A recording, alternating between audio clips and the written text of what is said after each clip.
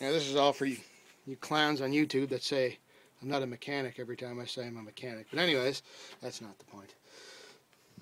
Intake gaskets. Time for new ones. She was leaking pretty bad. Uh, got them over here. I don't want to touch the damn things. I just washed my hands. There's your problem. These were fairly new too. Uh, they were replaced at one point. I don't know how long ago. Fairly recently. This one here doesn't look too bad. It was mostly the front head.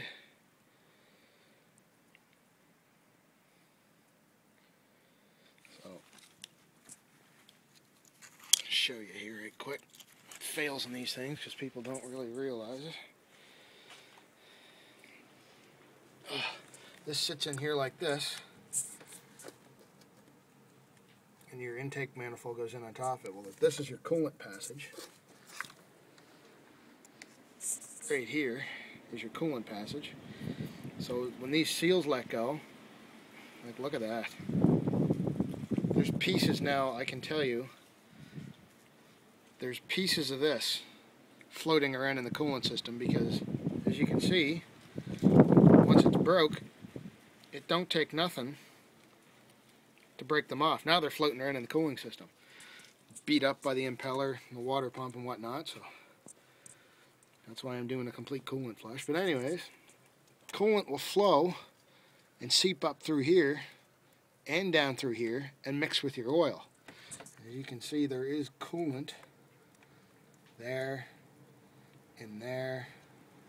So this will all be brake cleaned out, cleaned up properly.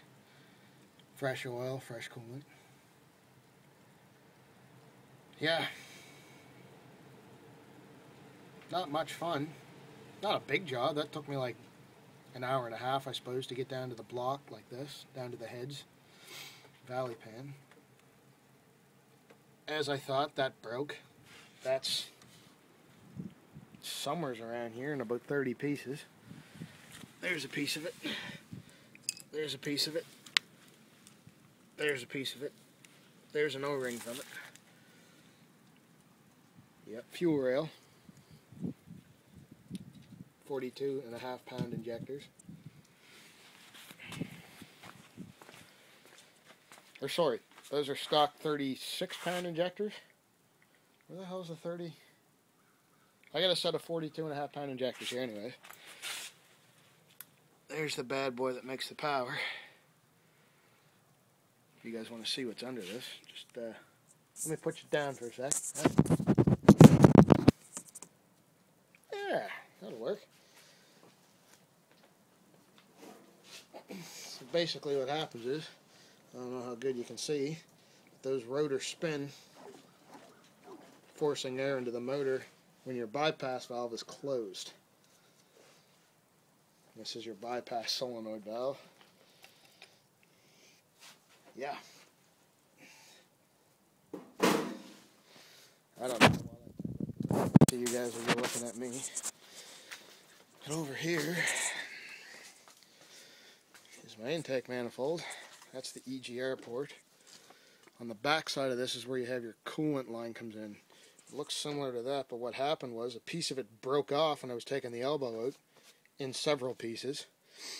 And it went inside, so I had to try and fish that out with a, a dental pick. That wasn't too much fun, but she's all cleaned up. For the, well, that side's not. This side is. She's all cleaned up and ready to go on. As soon as I get the proper gasket. Ah, oh, damn it. Oh, well. Oh, no, it didn't go in there. Anyways. Plenum gaskets right, but I can't use these. These are the ever famous failing stock style. They're plastic. Plastic has no place in an engine, man. I don't care what anybody says. I mean, yeah, I might be a little old school. I like my big blocks. But you know what? There's no need for plastic in a motor. Wife's car is an 04 Grand Am. It's got a plastic intake manifold. Like, that's just a vacuum leak waiting to happen. Anyways, who cares?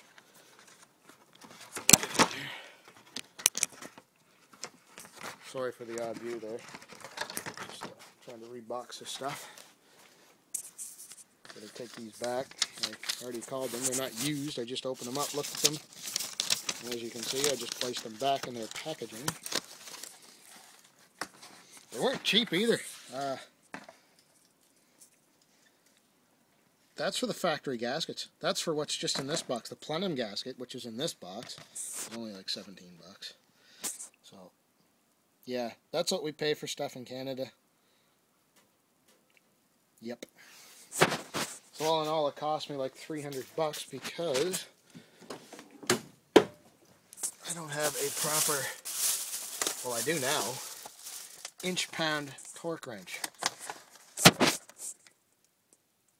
3 8 drive for doing the intake manifold bolts. I don't want to break nothing off. What I might do is I got new spark plugs in the Park Avenue, same motor. Brand new spark plugs, brand new wires, brand new coil packs. So I gotta wait until Monday to get my hands on the intake manifold gasket set and the coolant elbow. So I wait till Monday. I might as well put those coil spark plugs in. New valley pan cover gaskets here somewhere. Might as well put them on.